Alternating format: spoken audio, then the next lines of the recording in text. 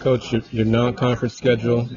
You're the only school. You're playing all the area schools. So your thoughts on that specifically, and then other opponents in the non-conference schedule. Yeah, our non-conference schedule is going to be extremely tough. Uh, we have Gonzaga at home. We have Georgia Tech at home. We're on the road at TCU. Uh, we're on the road at Stephen F. Austin. We're on the road at Houston. So that's a really tough non-conference. I hope the rigor of our non-conference is going to prepare us for the rigor that American's going to be. Uh, we were, you know, based upon the opponents that we got twice in the American, we're, we're viewed upon pretty highly uh, in the American. So we're playing South Florida twice, we're playing Memphis twice, we're playing East Carolina twice, Tulsa twice, SMU twice. Uh, so those are going to be challenges for us. But I think our non-conference uh, schedule is going to really set us up for success when we reach those opponents. And how beneficial is it to not have to really go out of the state of Texas very much non-conference schedule? Yeah, I, I think it's awesome. Uh, there's so many opponents that you can play here in the state of Texas, so many quality opponents. Uh, I hope that we can keep the Houston home and home going forever. I hope we can keep the Stephen F. Austin uh, home and home going forever. Those are great opponents for us. Now in your conference, you have the SMUs and the North Texases.